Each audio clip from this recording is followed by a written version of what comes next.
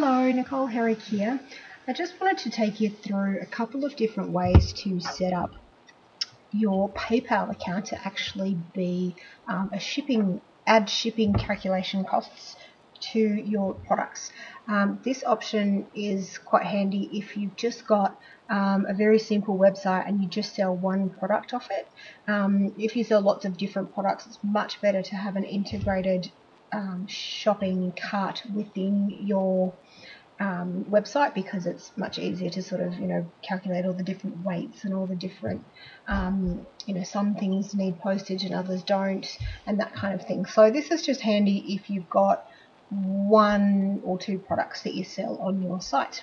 Okay so the first way to do it is to log into our PayPal business account um, and please do note that it does need to be a business account if you've got a PayPal personal account, you can't actually set up the shipping options um, individually.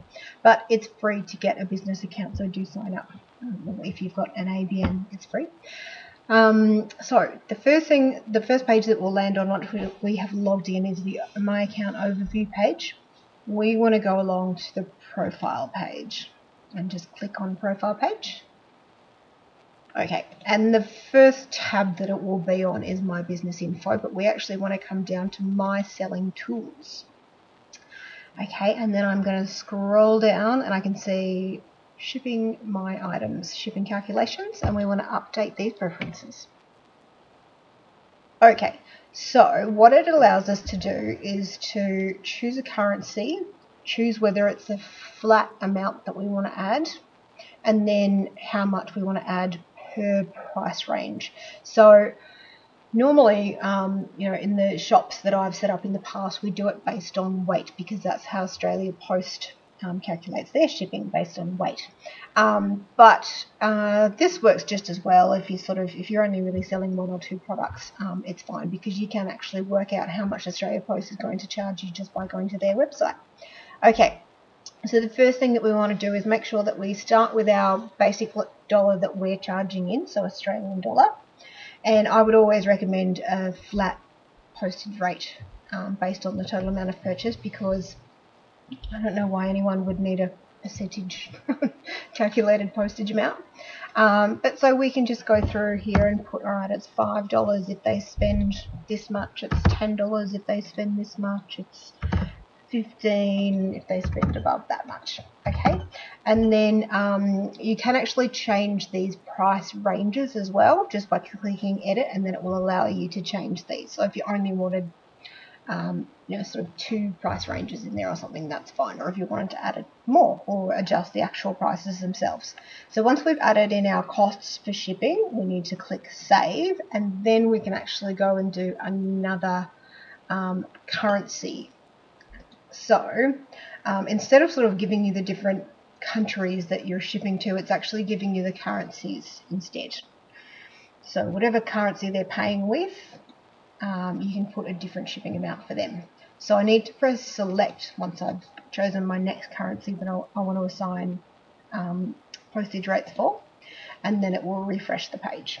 So I'll go, okay, it's eight pounds, 11 pounds, nine pounds.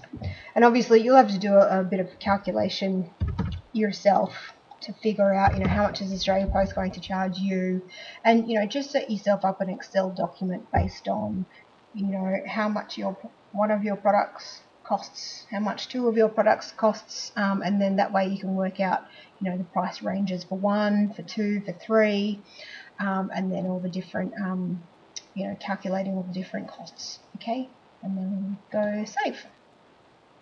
So you can go and do that for any of the currencies that you'd like that they have here. Um, there's just the top sort of 20 or so currencies.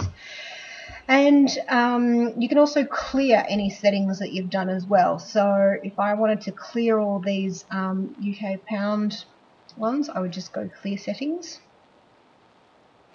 it clears all those and then if I want to go back to the Australian prices that I set I press select and clear settings and it will just take out all those prices for me um, so the one problem with this is that it applies to everything on your page. So everything that you sort of use your PayPal account for people to be able to buy from you.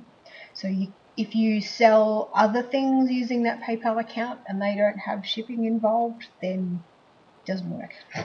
You'll have to go and set up a different um, shopping cart within your website. Okay, so that's the first way to do it.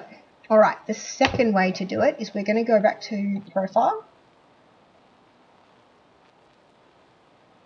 And we are going to go PayPal buttons, manage my payment buttons.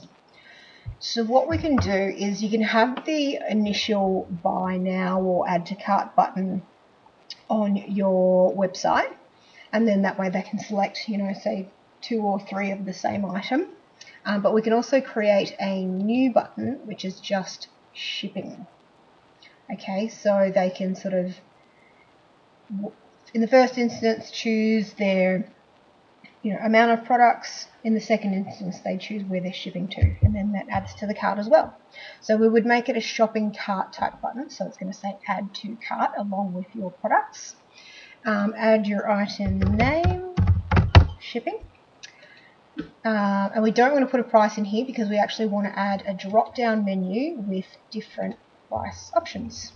So I'm going to put postage and I'm going to say um, Oz regular post. Price is $9.90.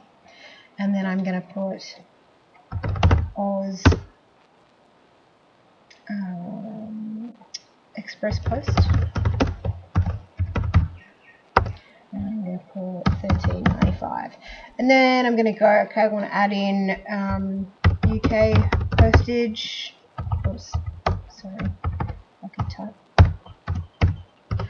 Is a flat rate of say $15 and I want to add in postage option for USA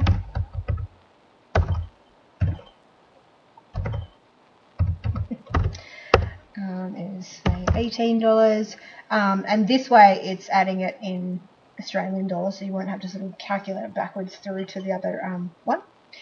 But then you can see over here that it, it just sort of shows you um, the different postage rates that they'll need to choose to add to their cart. Um, they will have to actually add it to the cart, so you know somebody might actually go to your site and just put in the products and then pay for them, and then if they haven't gone into the postage section, then you know you'll have to sort of say to them, oh, hang on, you have to pay for postage as well. Um, so this is a secondary option, just in case, you know, the first option doesn't work for you, because I've heard that on some um, website building platforms it doesn't necessarily work. Okay, but that's the two options that I've shown you there. Okay, thanks. Bye.